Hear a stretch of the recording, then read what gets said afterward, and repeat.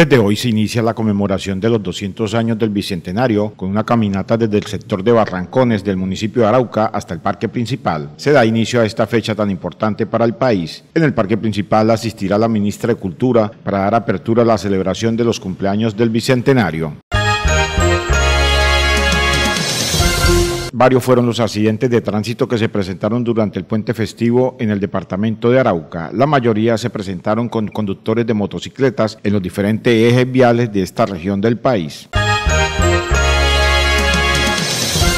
La alcaldía Arauquita tomó la decisión de cerrar el paso provisional en el sector de Peralonso, en la vía que comunica Arauquita con Saravena, debido al incremento del cauce del río Arauca en los últimos días. Lo poco que queda de carretera está a punto de ser arrasado por las fuertes corrientes del afluente.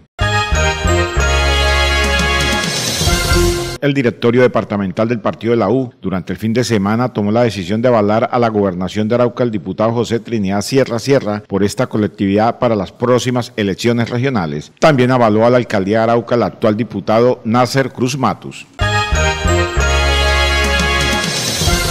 por el volcamiento de un camión se encuentra incomunicado el departamento de Arauca con el municipio de Pamplona, norte de Santander. Las autoridades llegan al sitio en la vía de la soberanía para poder retirar el automotor de este eje vial.